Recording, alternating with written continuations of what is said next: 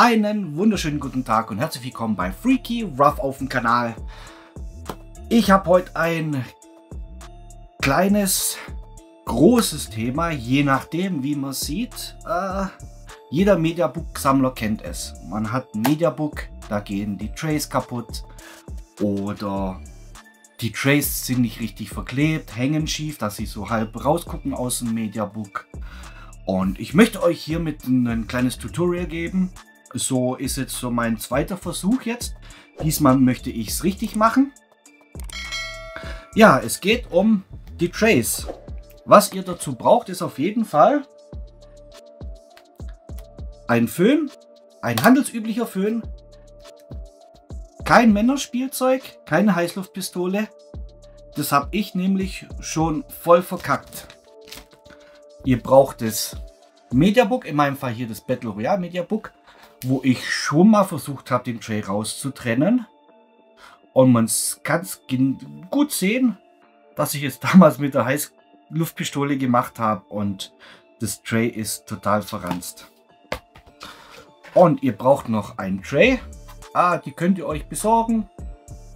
Ich habe jemanden über Facebook kennengelernt, äh, der mir ein paar verkauft hat. Und dazu gibt es auch die passenden Klebepopel dazu. Ja, wie gesagt, geht da mit einem handelsüblichen Föhn hin, damit ihr da nichts beschädigt. Und am besten habt ihr noch eine kleine Karte oder so, das habe ich vergessen. Ich habe das vor mit der kleinen Karte. Ja, aber das zeige ich euch jetzt.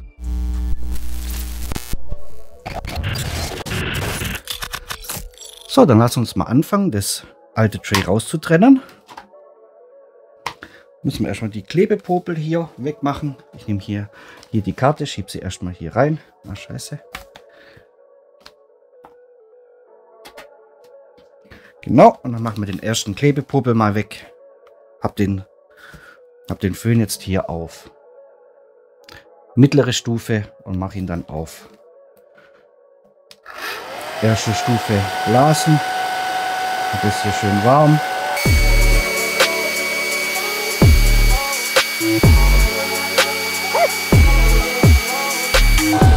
er löst sich schon, er löst sich schon. Nicht zu früh ablösen, sonst reißt ihr das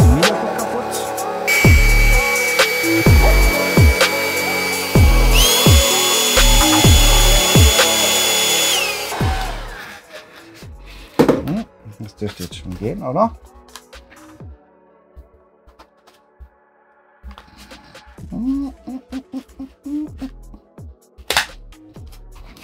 So, erste Puppe weg. Erste Puppe haben wir schon mal weg.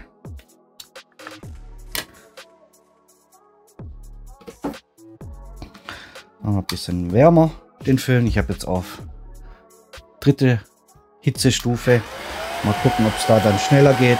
Ein bisschen. Hm.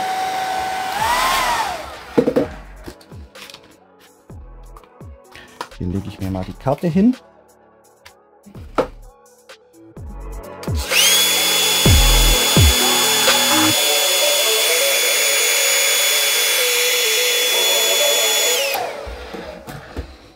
Hm. Der lässt sich jetzt auch gut lösen. Legen wir mal die Karte hier so hin. Ah, die, wie man sieht, sind die Wicked Vision Karten eigentlich ganz gut für sowas. Man legt sich hier hin, sie können nicht mal ankleben und kann sich unten und schiebt es einfach dann hier runter. Ja, perfekt. Und jetzt noch die unteren.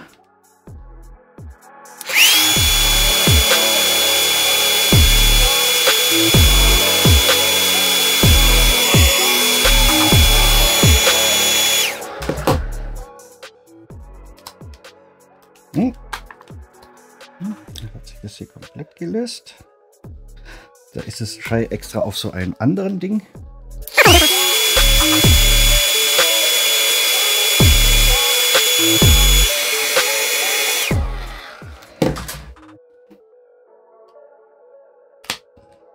Auch hier, diese Klebeprobe hat sich gelöst. Und jetzt noch einer und dann Hämmers.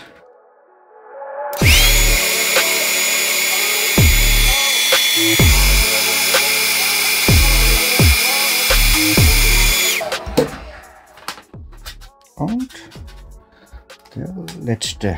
Jawohl. Und so haben wir es jetzt. Hier das alte Tray. Man kann es auch hier erkennen. Da habe ich schon mal mit dem, mit dem Heißluftpistole rangegangen. Und man sieht es. Ja, nicht gut. Hier oben die unversehrte.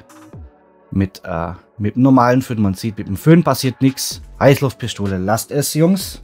Dieses Mediabook war so, dass das Backpaper hier, das Tray ist auf das Paper hier und das Paper ist dann im Mediabook drin.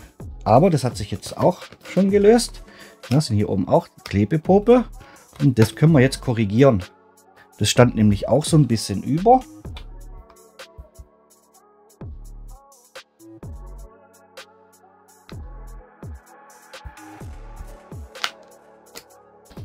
Mal gucken wir mal, ob das hält.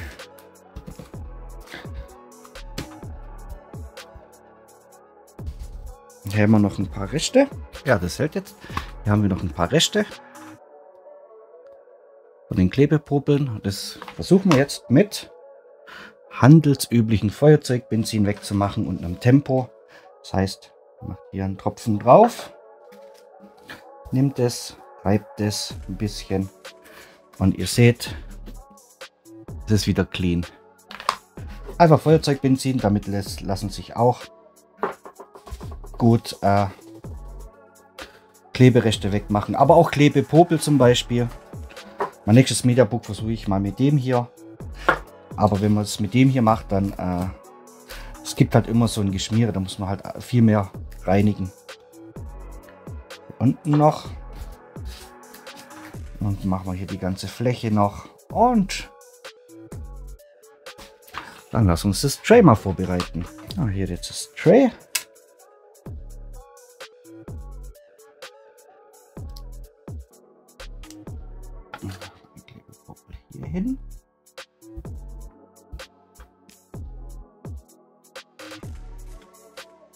Und dann hier hin.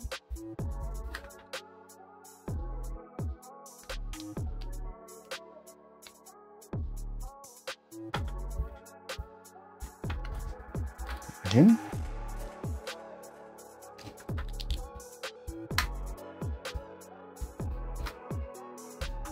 Und hier hin. So, als nächstes nehme ich hier so ein Skalpell-Set. Ganz vorsichtig den Kleber hier ab. Genau. Hier.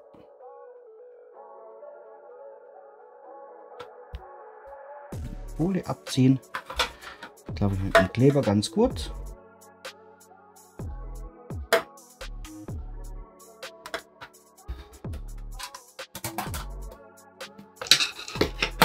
So, und jetzt können wir das Tray hier einfach wieder reinkleben. Gucken, dass es hier hier äh, klebt und dann hier richtig drauf liegt und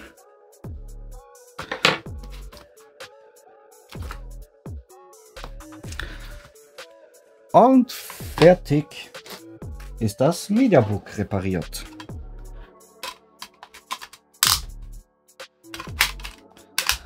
So. Und man sieht's. Es ist wieder schön, schön bündig repariert. Jawohl, so muss es sein. Und repariert das gute Ding. Super. So, und fertig ist es. Mediabook repariert. Äh, ja, es sieht jetzt wieder schön aus.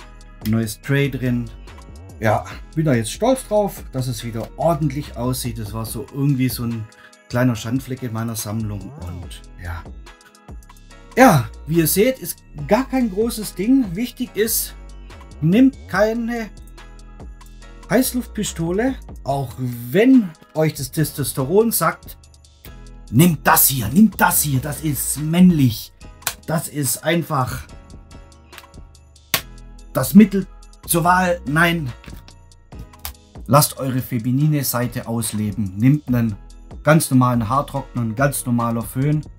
Leider kein Originalföhn von AEG, aber es ist das gleiche. Ja, als Tipp kann ich noch geben, ein Skalpell, damit ihr nachher schön fein die, die Folie von dem doppelseitigen Klebeband wegkriegt. Feuerzeugbenzin zum Reinigen ist auch immer gut. Ist auch fast leer, äh, brauche ich neues.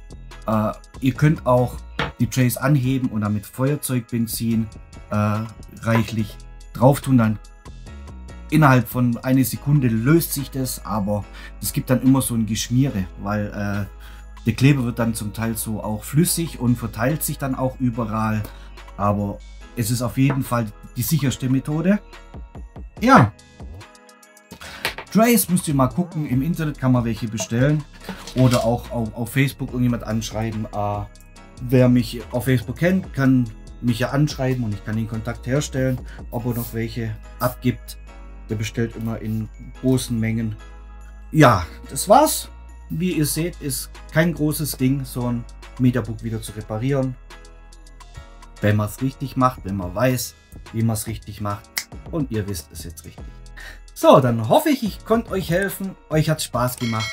Dann wünsche ich euch noch einen restlichen schönen Tag. Guckt gerne Filme, guckt viele Filme. Ciao, ciao.